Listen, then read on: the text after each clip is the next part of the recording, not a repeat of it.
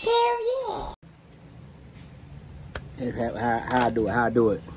Yo, Cuts by Reggie back with another video. Nothing long, something quick that I've got a question about. Not a lot of question, but somebody asked about. Y'all can see different scenery. I got the question. I'm on my off day. I said, why not? Might as well go ahead and put the video together, all right? So if you're not subscribed, please subscribe, comment, share, like, dislike if you dislike, all the good stuff, right? During my time on doing the YouTube and you know, reviewing clippers and buying so many products, getting sent products and stuff, you get different questions of what's the best clipper, what's the best trimmer, shears, razor blades, everything, right? Brushes, all, all sorts of things, right?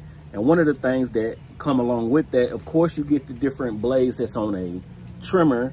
Of course, you got the, the Gold FX blade, you got the graphite blade from uh, Babyliss. You got the T-outliner blade. You got the square blade. So there's different blades, right?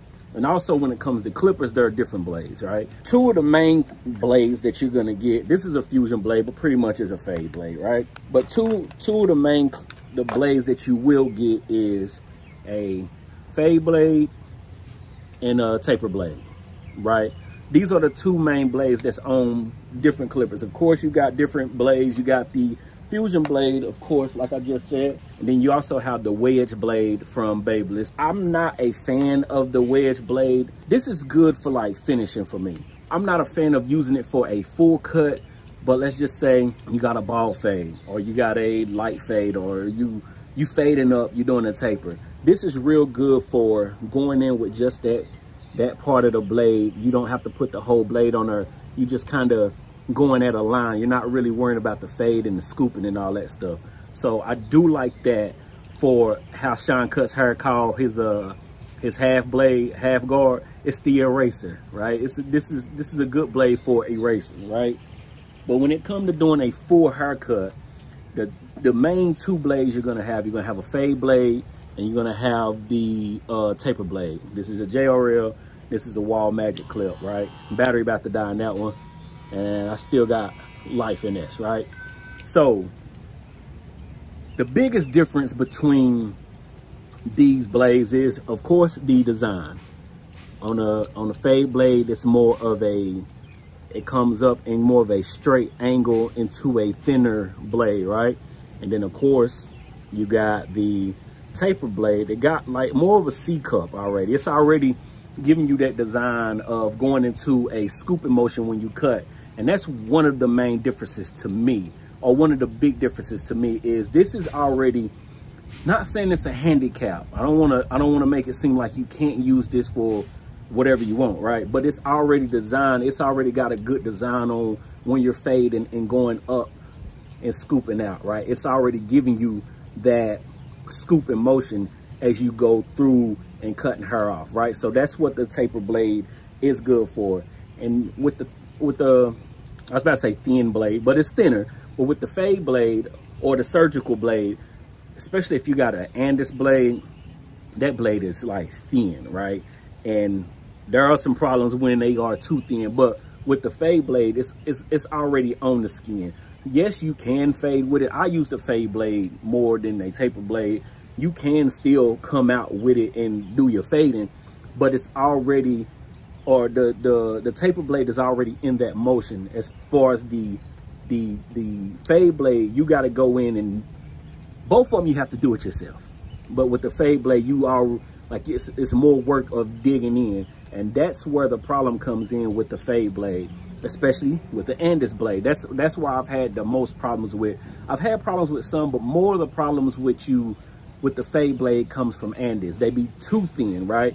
Because when you're fading, it's getting these are this is going to get you closer to the skin than a taper blade. Of course, you can zero gap them, get them both to whatever you want. But this is going to get you closer to the skin. So when you fade and, coming up to that line, you dig into the skin just a little bit if it's too thin, you're gonna snag. I don't know if you've ever used a fade blade, especially a um, Andis fade blade, but it snags on the skin sometimes, and you just gotta be careful with what you're doing. This is, I'll use this for all my cutting, right? For the most part, unless I get a new clipper in, it comes with a taper blade. But for the most part, I'm gonna use a fade blade, right? Fade blade is a better option when you wanna take out a ball line So you got the ball, you got the ball fade, right?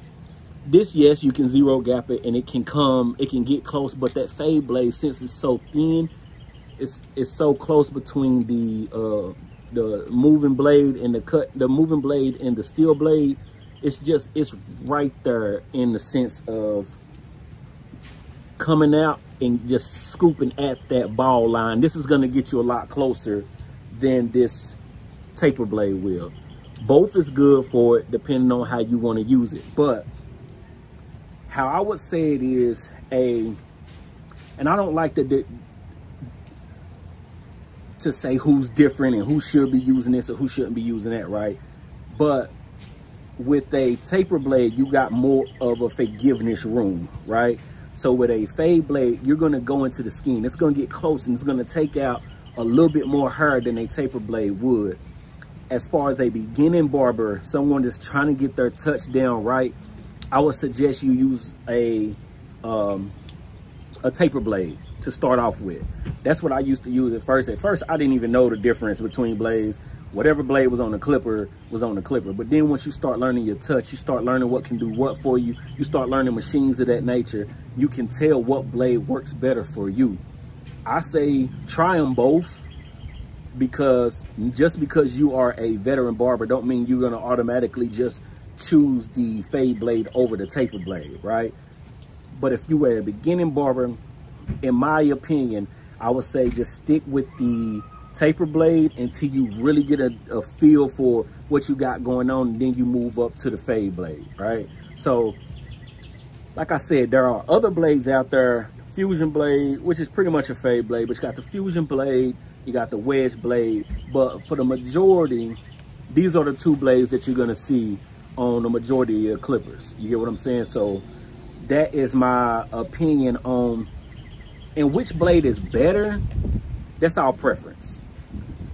So my my my thought on which blade you should get is if you're a beginner, just start with the taper blade. It gives you more forgiveness room. And then as you work yourself up and you learn your touch, you can move on to the fade blade. My decision or my thought process on which one is better is our preference, right? I learned my touch and I like the fade blade just because it gets it does get closer to the skin. But some people might not like that. You know what I'm saying? You might feel better with the taper blade. And if you feel better with that, get the taper blade. But I do say once you start learning your touch and you start getting used to cutting hair, ball fading, fading up and all that, then I say you just, with you know, you get which one works better for you.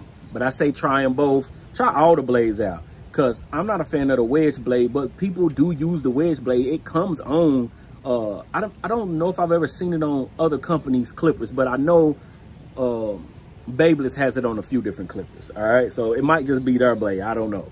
But that's my opinion on the different blades on the clippers. Taper blade, fade blade, fusion blade, wedge blade. It's a few, all right?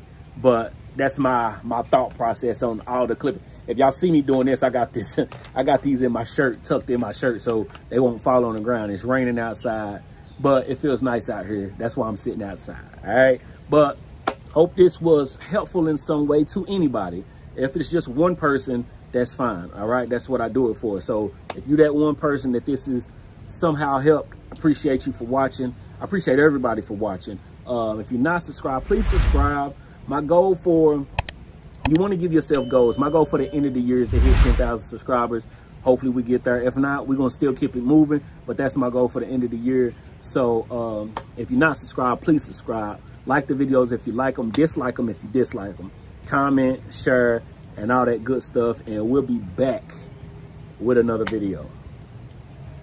Peace.